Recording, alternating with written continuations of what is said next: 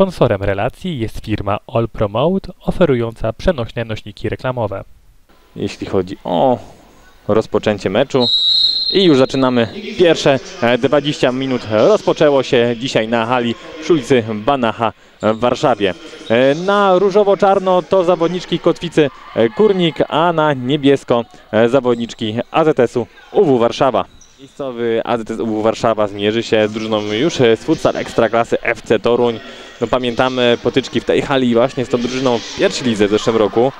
Stąd też e, na pewno e, będzie mecz na bardzo wysokim poziomie, tym bardziej, że nas Warszawy aspiruje do awansu, a tymczasem e, dobra akcja Kotwicy, Kurnik i mamy pierwszą bramkę w tym meczu, a zdobywa no, w sumie w pierwszej połowie raczej nie można było mieć większych zastrzeżeń do broniącej Joanny Kaczmarczyk.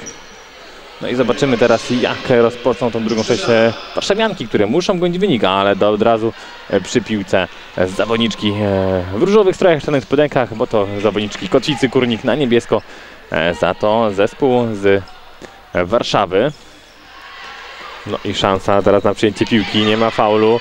Boguszyńska dobrze podaje, Cerajewska, uderzenie, gol! Fantastycznie w okienko przymierzyła Hanna Cerajewska i tym samym zdobyła drugą bramkę dla Kotwicy Górnik w tym spotkaniu i podwyższa przewagę na 2 do 0. Znakom...